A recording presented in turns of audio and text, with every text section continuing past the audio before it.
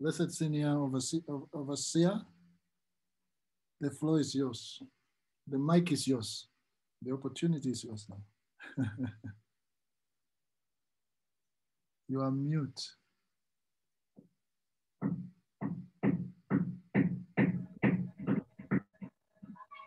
Amen. Amen. Thank you so much, Blessed Senior Bishop, for the opportunity. I'm so humbled to present the topic that says spiritual oneness in marriage. I believe my voice is clear. Amen. I'm going to handle the issue of oneness, spiritual oneness in marriage. And now we have um, eight aspects, very important aspects that have a very significant meaning to oneness in marriage, even as uh, there are scriptures attached to any, I mean, to every aspect. Hallelujah. The very first aspect will be God as uh, the only God of heaven, the creator, and the one that have the original ideal of marriage. And so, couple who are now a husband and a wife depends on God, the initiator of marriage. None of the two depends on another, but rather on God. We are going to look at the scripture, even as they are already highlighted, but we'll go through in few of them. We can all look at uh, First Corinthians chapter 11, verse 11. We can all go there. I'm going to read it once I find it.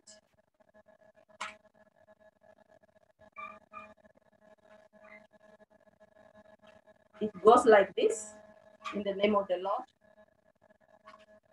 In the Lord, however, woman is not independent of man, nor is man independent of woman.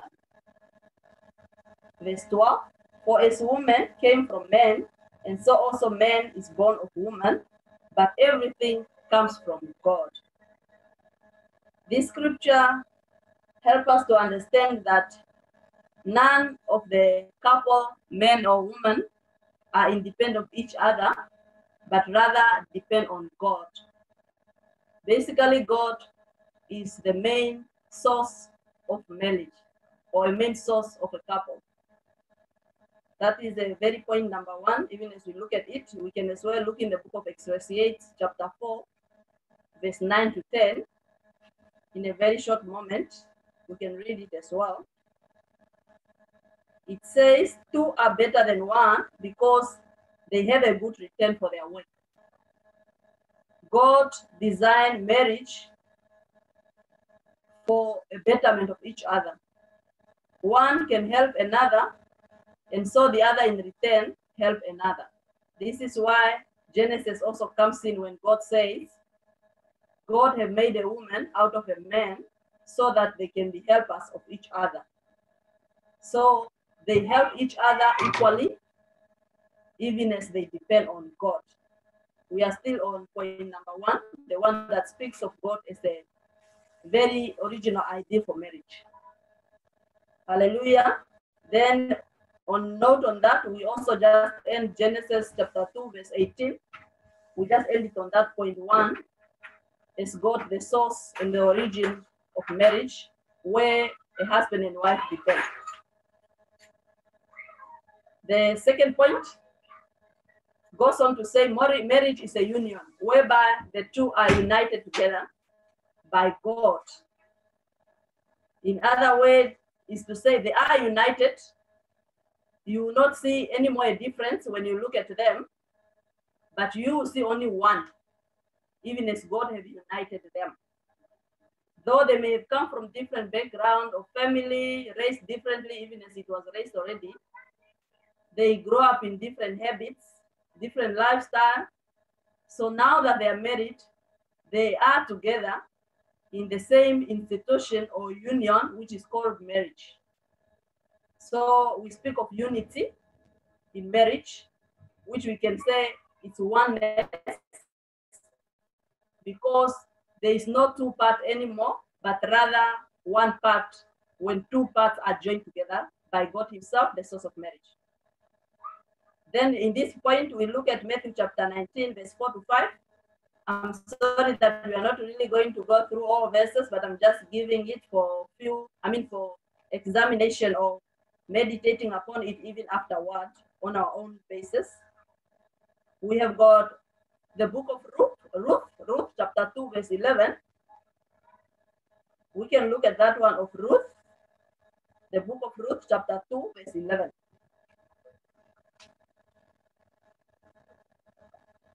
Hallelujah. We can go to the book of Ruth as quickly because of time that we don't delay. Ruth chapter 2, verse 11. Boaz replied, I have been told all about what you have done for your mother-in-law since the death of your husband, how you left your father and mother and your homeland and came to live with the people you did not know. Ruth had a very, very significant example, even as she was married in her marriage, that she have totally have forsaken her family, her homeland, in case of even those that may be married uh, to another country or in another continent, so that they can really be united with their husband and become one. So marriage is a forsaking of your, your, your original or your biological family to unite together with your spouse and form a one body. So we are emphasizing this even as we are looking at the second point of unity, union, whereby the two now each forsake their own family and unite together and form a family, which is the family of God in marriage. That's the second point. We just emphasize not in detail, but rather to take time and meditate upon the scriptures. In fact, the points are eight, but now we are moving to point three. Point three, oneness means oneness in flesh or body and spirit. God, the designer of marriage, have brought the two part, a man and a woman, and unite them in one flesh and spirit, so that the two can become one, even as we are emphasizing the oneness of marriage or oneness or spiritual oneness in marriage. We can then look at Malachi, book of Malachi, chapter 2, verse 15. Chapter 2 of Malachi, Malachi, chapter 2, verse 15. The very last uh, book in the Old Testament.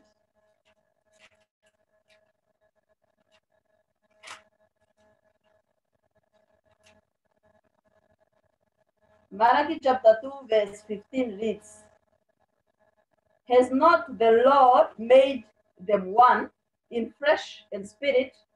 They are his. And why one? Because he was seeking godly offspring. And so guard your heart or guard yourself in your spirit and do not break faith with the wife of your youth. God the Father, the initiator and source of marriage, have made a husband and a wife to be one, united in marriage, so that they can be one flesh and one spirit. And he also emphasized the reason why, which we will look at also even as we conclude the matter of the oneness in marriage. Uh, this oneness of the flesh and the spirit, it is emphasizing even as a, a family becomes a team, as our blessed bishop said it earlier, that when we are one in flesh and spirit, uh, husband and wife, we are working toward one common goal and fighting for each other, not against each other, not as enemies, but as a team, united and living as one flesh and one spirit before God. And then if one part is weak, then means all the two parts are weak. If one of them is joyful or is rejoicing, then means all of them, they are rejoicing at once. This is why even as our blessed bishop said, that when one have won it and the other one have lost it, then that doesn't show oneness no more. But rather, this shows that there is a separation of the two. Therefore, in this part or in this uh, point, there's an emphasis that goes on for married couple to work out toward one goal and fighting for each other. And in this, there's also scripture ended, Matthew chapter 19, verse 6, and also First Corinthians chapter 12, verse 25 to 26. Hallelujah. We move on to point four. Point four speaks about oneness as one man, one wife, or one husband, one wife. And this is what we call monogamy, whereby marriage was only designed for one man and one woman. There is no polygamy according to God, that one man can have more than two men or two, one man can have two, more than two or one, I mean more than two wives. There is monogamy and this is oneness according to God. That marriage is only founded on the foundation of one man, one woman. And we can read that in the book of First Timothy, chapter 3, verse 12. First Timothy, chapter 3, verses 12. You can quickly look at that. First Timothy chapter 3, verses 12. It goes on like this in the name of the Lord. A deacon must be the husband of one, the husband of but one wife, and must manage his children and his household very well. The same scripture was read by our blessed Mama Bishop, and this does not only apply to the deacon, even as we have got deacons, overseers, our bishops, and so, the ministers in the gospel of our Lord Jesus, but it applies to all. And this is now what we are calling monogamy, meaning one wife, one husband, one husband, one wife. Not more than that. Hallelujah. We move on to point five, whereby the oneness can mean belongingness or togetherness, whereby husband belongs to the wife and wife belongs to the husband. And this is when ownership comes in even as our uh, blessed bishop also read it in uh, First Corinthians chapter 7. We can look at that one. First Corinthians chapter 7, verses 2 to 4. First Corinthians chapter 7, verses 2 to 4. It reads like this in the name of Jesus. But since there is so much immorality, each man should have his own wife, and each woman her own husband. Hallelujah. A wife or a man supposed to have his own or his or her own wife. So this ownership that means belongingness or togetherness. There is no separation, but rather they are one. They own each other they belongs to each other. And uh, taking note on that, we can read in Titus again, chapter 1, verse 6. But this one, we are not going to read it. I'll just uh, give the scripture or the verses that you can read on your own. You can read in Titus chapter 1, verses 6. And also another scripture, First Timothy chapter 3, verses 2 and verses 12. We can take note of that. Even as we move on to point 6.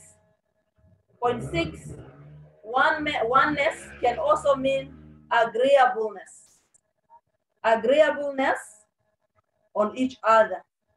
Though we have spoken about the differences when we have gone through the discussion of resolution of conflict. Men and women, they have different backgrounds that uh, we know. There are differences always that pops up in marriage. There are conflict that pops up but despite of that, a man and a woman are meant to reach agreeableness, to reach a conclusion of agreeing. And this is now what we call win-win solution, that all parts must be satisfied at the end of the time. And then we can look at Amos chapter 3, verse 3. We can read that one of Amos chapter 3, verses 3. How can two walks together unless they are agreed. Marriage is a journey whereby a man and a woman are working together toward the kingdom of God, especially to us believers, Christians, born again, even though that are not also born again are ought to know before they embark on this journey if they are desiring to marry one day. This journey is a togetherness journey, walking, holding each other, heading to the same destination. There is no point of not reaching agreement in this journey, or otherwise we cannot work together. And this is a question to all of us as couples that two can never work together unless they agree.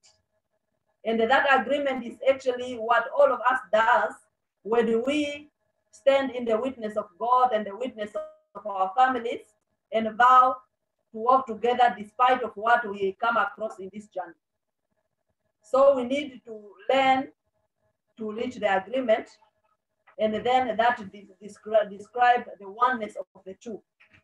Because never ever the man and a woman or a husband and wife can reach their destination when they are in separation. And that is the, the main intention of God for a man and a woman, a husband and wife to work together to reach the destination. And that is the destination of heaven where we are working toward, even as we are married. Uh, the, C, the, the seventh point will be the oneness of covenant. We know God is of God of covenant. God have made a covenant through marriage.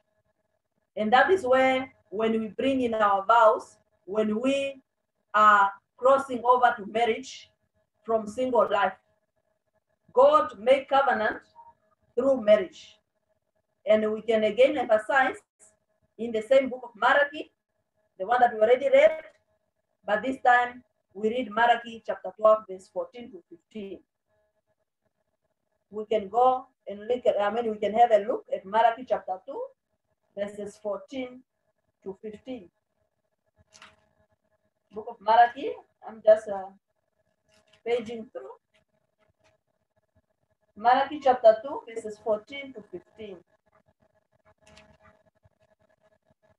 14 to 15. You ask why? It is because the Lord is acting as the witness between you and the wife of your youth, because you have broken faith with her, though she's your partner, the wife of your marriage covenant. This is a question that the Lord God Almighty is answering, even as it's been asked. That a man and a woman enter into a covenant when they vow in their youth to marry until death or Christ coming do them apart. This is a covenant that will never be broken. There is no brokenness because this is a divine covenant that made by God himself. And that is the process every man or woman or a wife and husband are going before they start living together as husband and wife. They vow before God. They are vowing before God in order for that covenant to be established so that never ever it must be broken unless death comes in or Jesus Christ returns. We can take note on that point of covenant, even when you look at Genesis chapter 16, verses 1 to 14, when we ought to learn God is a God of covenant. There is a last point now we are going to look at once again. This one bespeaks of inseparation. When we speak of a man and a woman leaving their family to cleave to each other, even as the word of God speaks of it, we are going to look at some clear scripture that bespeaks of that. We can look at Matthew chapter 19, verse 6, Ephesians chapter 5, verse 31, Book of Ruth again, chapter 1, verses 16 to 17. Book of Romans, chapter 7, verses 2. and the First Corinthians chapter 7, verses 39. There is no separation, even as we are living in the world whereby divorce is very common. God have never ever advised for divorce. Even as our blessed Archbishop highlighted already, that there is no problem that is bigger before the eyes of God that cannot be resolved. Because when we vow, we agreed never ever to separate. In uh, the health or sickness, in good or bad, we vow to be inseparable entity. God have made us never ever to be separated. Nothing in, the, in this earth, above the sky, under the earth, that is man stronger to break the covenant of marriage. Marriage is meant to be lasting. And that is the main idea of God from the very, very beginning. Those are, in short, in brief, the eight points that I had to share or present. But before I cross off or give a closer remark, I just wanted also to emphasize on why God have designed a oneness in marriage. Why not someone can ask, why not a separated entity coming together, but rather one? God have given that explanation or an explanation in the same book of Malachi chapter 2, the one that we already read, but this time we are focusing on the why oneness. Why God has designed a man and a woman to be one flesh and one spirit. God has got a reason, and that is the one I wanted to look at. Malachi chapter 2, verses 15. It reads like this in the name of Jesus. Has not the Lord made them one in flesh and spirit? They are His. And why one? This is what we are looking at. Because He was seekingly, He was seeking godly offspring. So guard yourself in your spirit and do not break faith with the wife of your youth. This is the purpose and the reason God called men and women as one in flesh and in spirit. So that God was seeking for a godly offspring.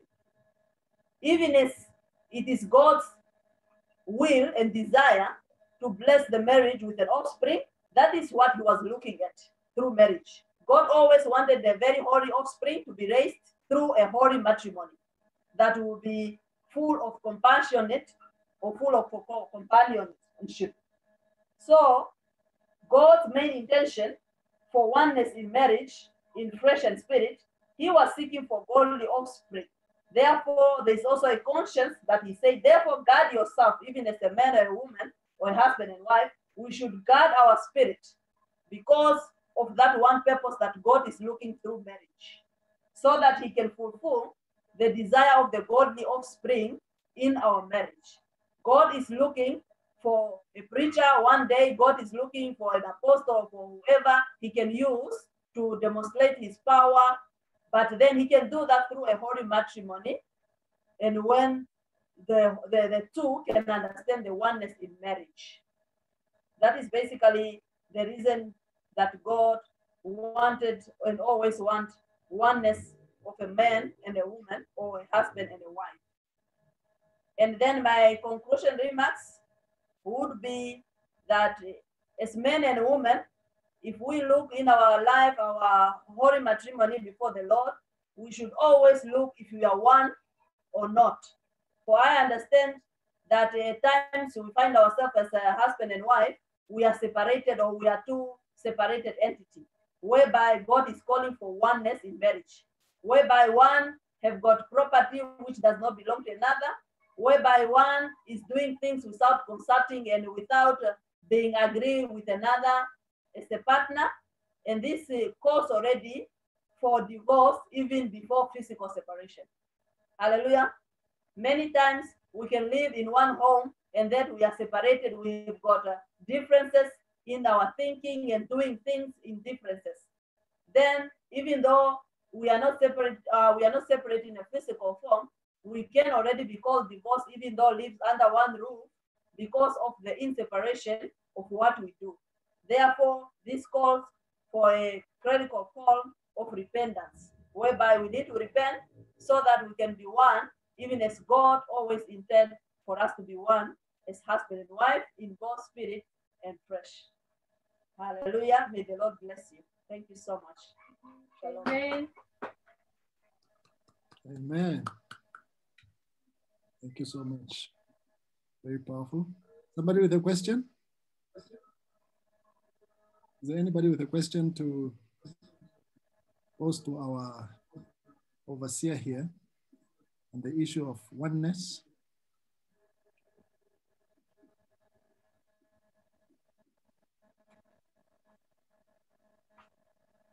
Anybody?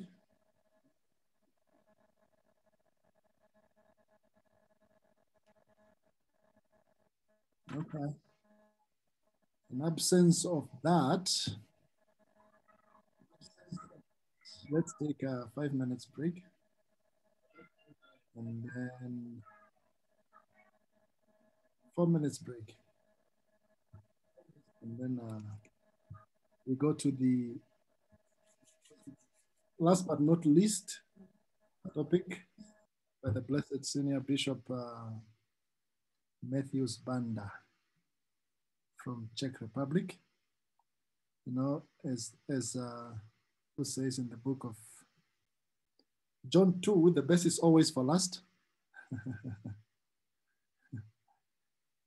Hallelujah. Or should I say, the Lord, the Lord saves the best for last. Amen. So let us take a short break and then we'll resume.